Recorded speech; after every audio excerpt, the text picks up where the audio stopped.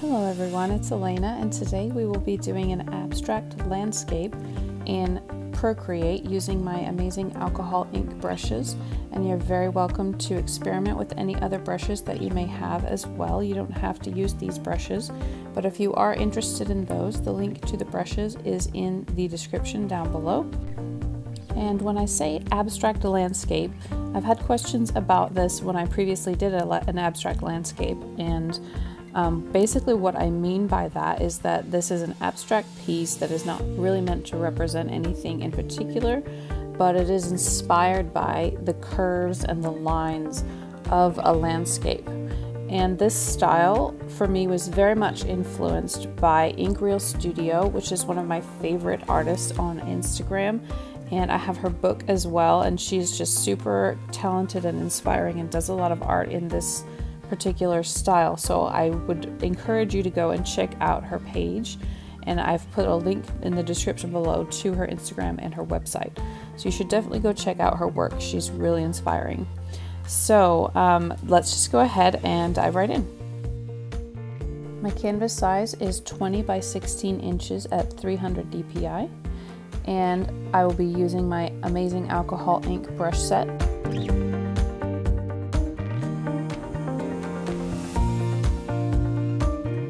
For this piece, I wanted a really minimalist color palette, so I made a new palette and I named it Abstract AI Landscape. And now I'm just going to go ahead and select just a few colors from the color palettes that come with this brush set and add them to this new color palette.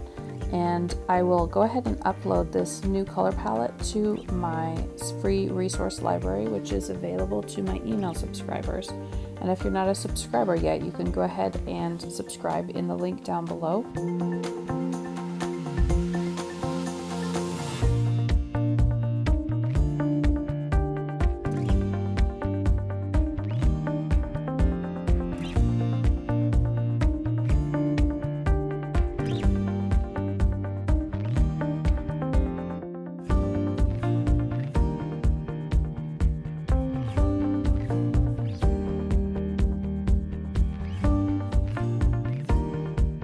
I've chosen my brush called Color Changing number 5 and I'm going to start out in this orangish red color and I'm just going to make that a pretty big brush size and make a stripe across the page and this is going to be the top of my landscape so that I have some stripes down below it and then it's just going to sort of fade off to the top of the page. Now I'm choosing the dark blue color and changing to color changing brush number four. And I'm gonna do the same thing with this down here at the bottom. And I will mostly draw over top of this, but I just wanted a little bit of that texture peeking through. So now I'm changing brushes again. I'm gonna go ahead and switch to my hair dryer brush, which is a blend only brush. So you have to use it on the same layer where you are already drawing and I'm going to just take this brush and use the pressure to push pretty hard and pull up from this pink on the top. And I'm doing it several times in a row right on top of each other and I'm using less and less pressure as I go. So where you can see the pink a bit more strongly, that's where I didn't use as much pressure. So I like to use this one over top of itself several times in a row using less and less pressure each time in order to have more of a faded out look like you would get with uh, an actual hair dryer or a heat tool or something like that if you're using it to push the alcohol inks around.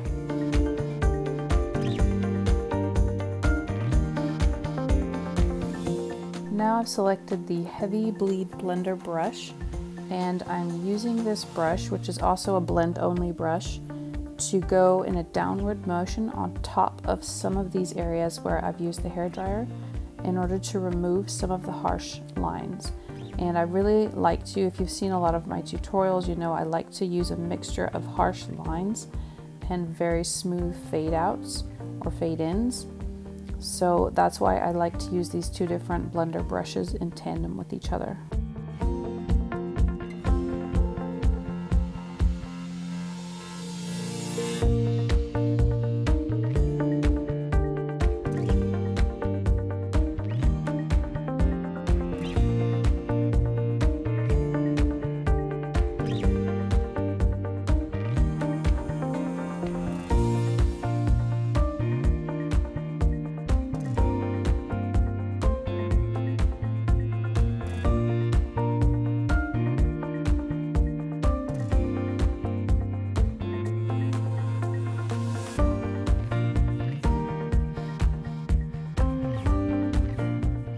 So I'm choosing the light blue color and I'm gonna go ahead and select the blended brush stroke and make a long sort of squiggly line down here right underneath of this pink that I've drawn at the top and I'll just go over that a couple of times in order to give it a bit of a layered look and I'm just going to keep on doing more stripes in this landscape down below. So now I'm just going to select my XL blended stroke which is kind of similar to the blended brush stroke but it's bigger and it has a lot more blend within it and I'm just doing the same thing building up the texture experimenting with different kind of squiggly lines along the top of this.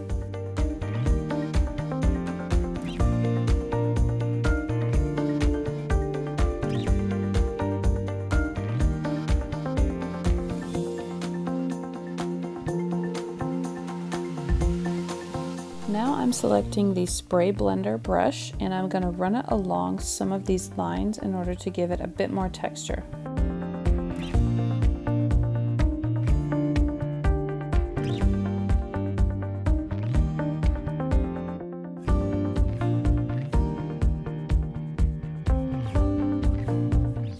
Now I've selected the smoky brush and I'm going to add a very textured line right through the middle here just to change it up a bit.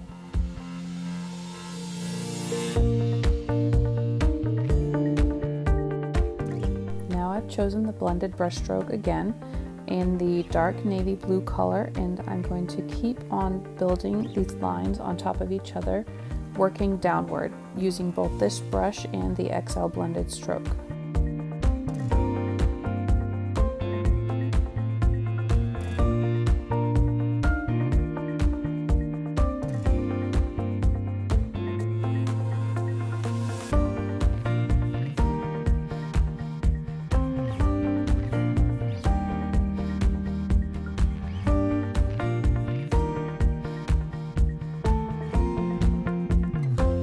Now I've chosen the color splatter brush in turquoise and I'm going to add a bit of splatter along this last line.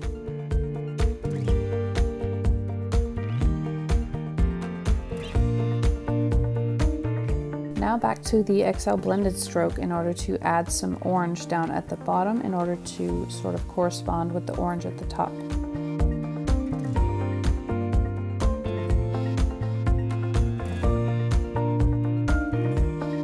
Now I've chosen the spray blender because I wanted to add a bit more texture here at the top.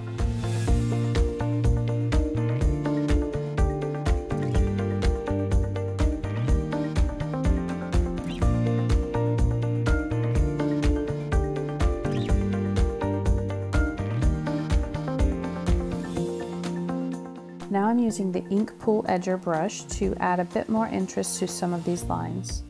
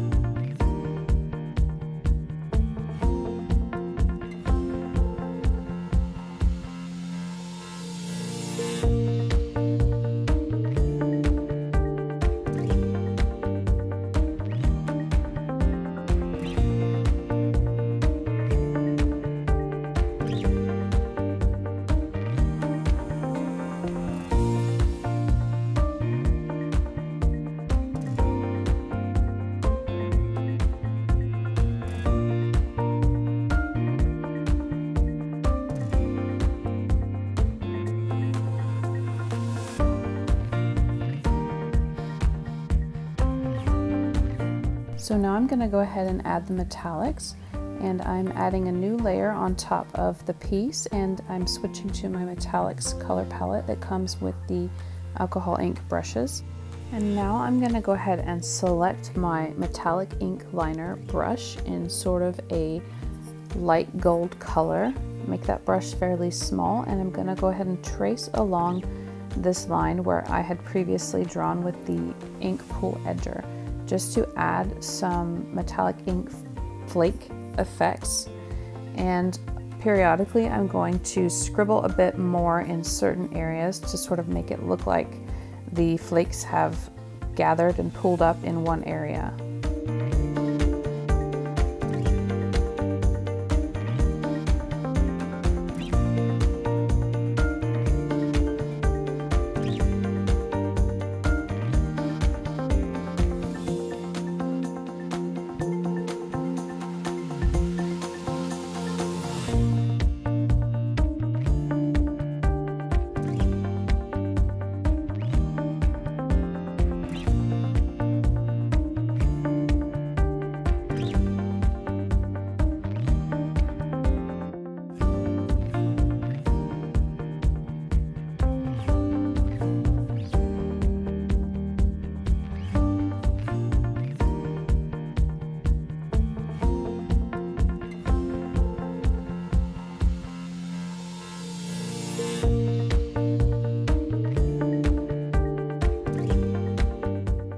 I'm choosing the foil liner brush in order to have a slightly different metallic line down here at the bottom with these dark blue lines.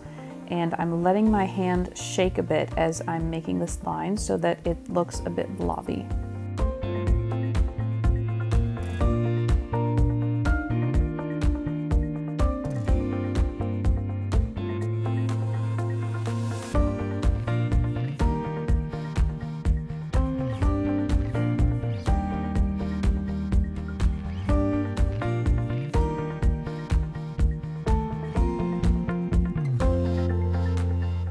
Now using both the ultra fine glitter brush and the metallic ink liner brush, I'm going to messy up this line of foil that I just made so that there are some splatters coming off the sides.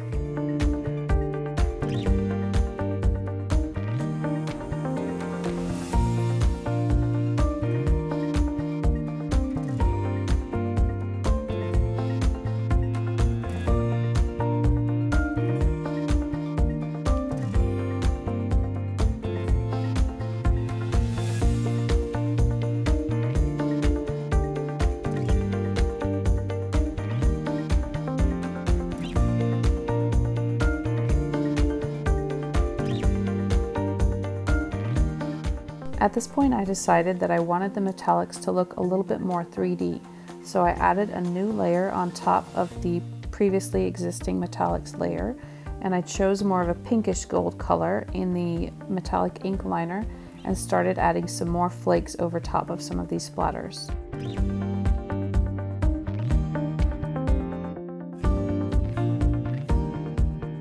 Now I'm just adding some ultra fine glitter down at the bottom as well.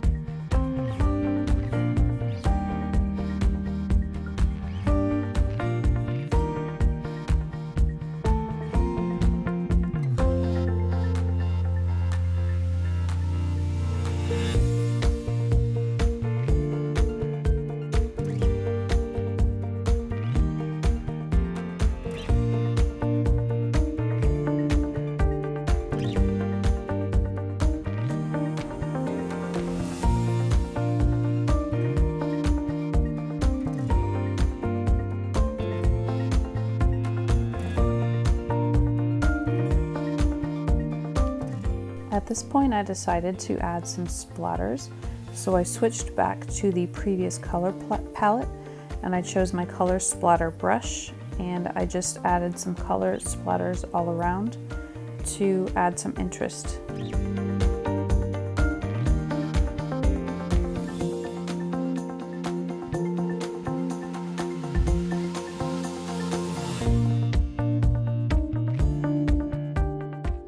Now I've selected my circle dropper brush and I'm going to add some bigger drops of ink in different colors all around the piece. And you can use the pressure to control how light or dark it is in the middle and how big the drops are. Sometimes you can add a few drops on top of each other to have it be a bit more interesting. And so I'm just gonna experiment with this all around the piece in different colors.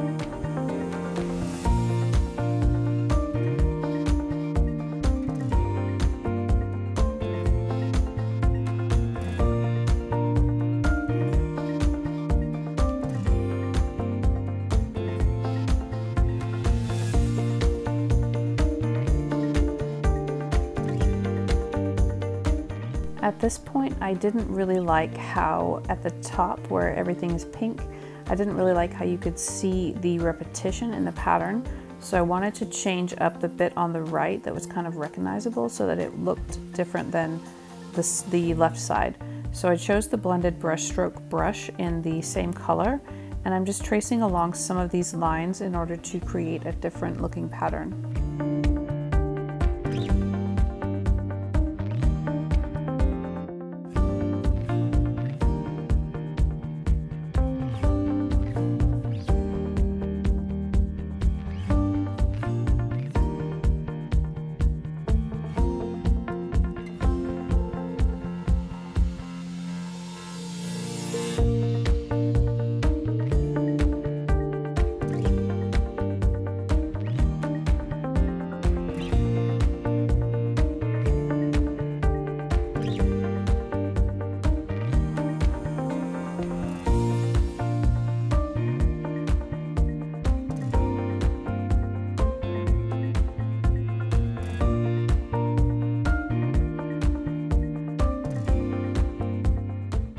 So at this point I'm pretty happy with how it has turned out. I like how there's a lot of different texture in different areas and how there's a contrast with the colors but they're still working together.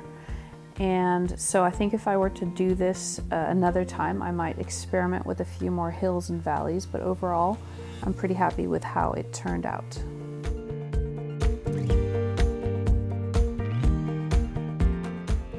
And now to finish it off, I'm just going to use the ultra fine glitter brush in order to add some blue glitter along the line in the middle where I had used the smoky brush previously because I just wanted a bit more color variation and a bit more texture variation along that line to sort of break up the rest of it.